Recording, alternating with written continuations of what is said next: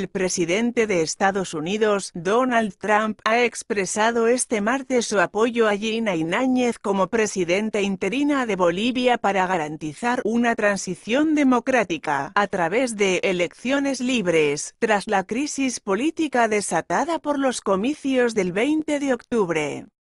Apoyamos a Gina Ináñez en Bolivia en la medida en que trabaje para garantizar una transición democrática pacífica a través de elecciones libres, ha escrito el inquilino de la Casa Blanca en Twitter.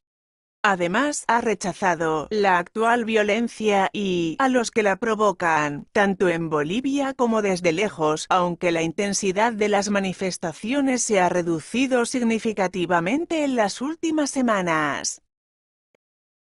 Estados Unidos está con los pueblos de la región por la paz y la democracia, ha reiterado el magnate neoyorquino en la red social.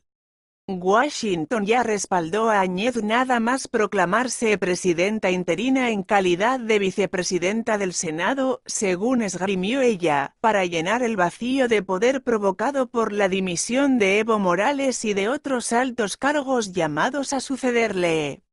Deseamos trabajar con ella y con otras autoridades civiles de Bolivia mientras organizan elecciones libres y justas cuanto antes, conforme a la Constitución boliviana, dijo entonces el secretario de Estado adjunto de para el hemisferio occidental, Michael G. Kozak.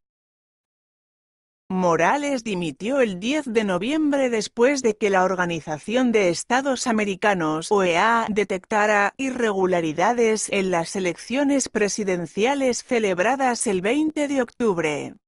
En un primer momento se instaló en México como asilado político, para después viajar a Cuba por razones médicas.